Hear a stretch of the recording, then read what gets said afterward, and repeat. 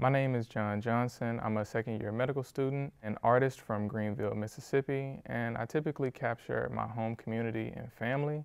And I've recently created a photo project called I Can't Remember What I Yelled Back. After the murders of Ahmaud Arbery and George Floyd and Breonna Taylor, there was this big rush in social media. And I wanted to engage with it and I wanted to post things about it, but I just felt so useless while I was doing it, I felt like I wasn't actually making a difference. And I was creating these photos initially as like a catharsis, like it was just a way for me to get all of these emotions out. But once I looked at all the photos that I had taken, I realized that this was actually a project and this was actually my own form of protest. I titled the photo series, I Can't Remember What I Yelled Back, after a poem that I woke up out of my sleep to write one summer morning. The poem goes, one night after a high school basketball game, I was standing outside the school with uh, two of my friends, and on a distant off road, five to six white children yelled, niggers. I can't remember what I yelled back. That poem was a microcosm of what so many black Americans have to deal with in this country.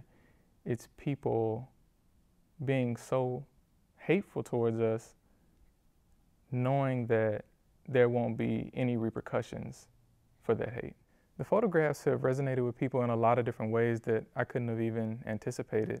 Some people resonated with the photographs because of the southern landscape. Some of the people resonated with it because of the interactions between the parents and the children.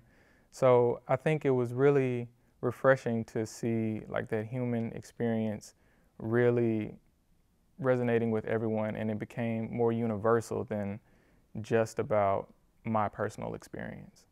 My favorite photograph is definitely the one of my cousin standing on the crate.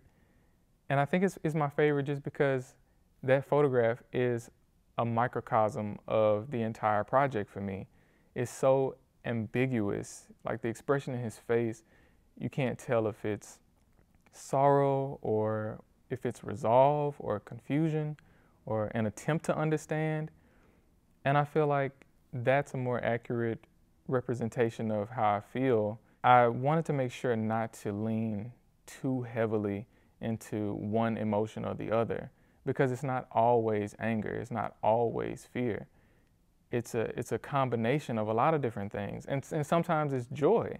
So I wanted to make sure that all of those emotions were captured